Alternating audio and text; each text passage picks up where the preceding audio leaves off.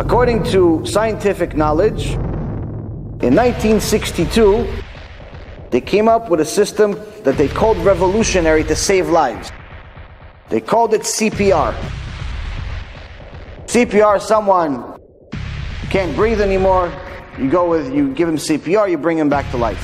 This is in 1962, and it's approximately 60 years ago, or 50 something years ago. And people call this revolutionary. This was a life changer, and technically it was if you didn't know it existed. But according to Chazal in Yalkut Shimoni, in last week's parasha, last week's parasha of the Meraglim, we had the spies go to Canaan, which is later to be called Israel. And what do they say they saw? They saw giants. Saw giants. Now, this midrash was written nearly 2,000 years ago.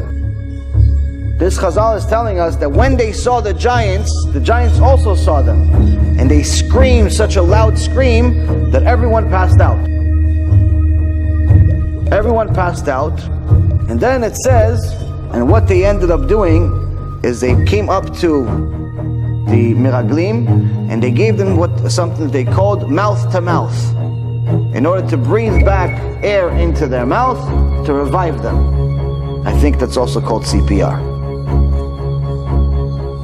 About 200 years ago, they discovered a, a, way to revive someone that also lost their breath, needs to get stimulated in order to breathe by putting a tube through their throat.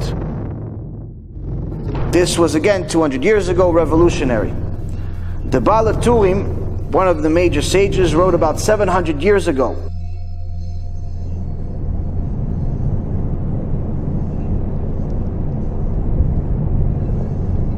There were two women written in the Torah in, in the uh, Sefer Shmot in Exodus.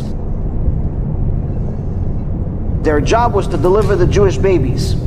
They had two names, Shifra and Pua. Later on, we find out that that's actually Yocheved and Miriam.